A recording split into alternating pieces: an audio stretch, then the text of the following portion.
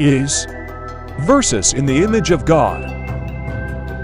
God is invisible. He's spirit. The human eye cannot see him.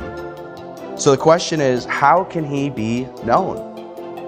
Well, Jesus was the image of God, the Bible says. He was the representation of God. And some of you might be thinking yourselves, well, isn't man made in the image of God too? Yes, but Paul means something fundamentally different when he says Jesus is the image of God than when he says that we're made in the image of God. To say that we're made in the image of God means that there's certain things about us as human beings that resemble God.